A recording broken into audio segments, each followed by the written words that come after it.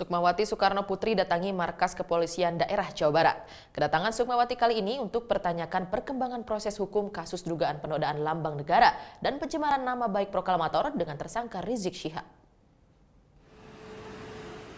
Putri Presiden Soekarno, Sukmawati Soekarno Putri, Senin sore mendatangi markas kepolisian daerah Jawa Barat.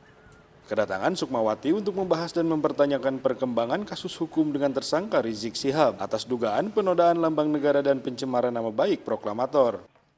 Menurut Sukmawati, dari hasil pertemuan tertutup dengan Kapolda Jabar, saat ini berkas kasus dugaan penodaan lambang negara sudah dilimpahkan ke Kejaksaan Tinggi Jawa Barat pada 2 Mei lalu.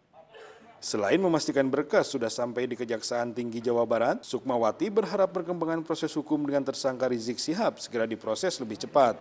Memang selama ini berkas ini sudah sampai ke Kejati atau bagaimana ya? Sudah, sudah. Tapi masih ada harus yang dilengkapi. lebih dilengkapi lagi. Dilengkapi. Besar kemungkinan kapan itu akan ada uh, sidang ataupun ada pemanggilan Pasti dari rakyat Indonesia sangat apa menunggu ya uh, cepatnya proses berlangsungnya tapi ya memang ini kan semua tahapan proses harus lebih cermat teliti.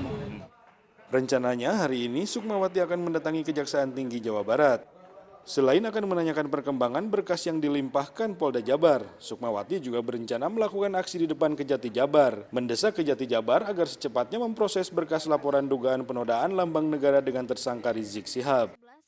Sebelumnya, Sukmawati melaporkan Rizik Sihab ke Mabes Polri terkait dugaan penodaan lambang negara dan pencemaran nama baik proklamator saat melakukan ceramahnya di lapangan Gasibu Bandung pada tahun 2011 lalu. Anggi Putra melaporkan untuk NET.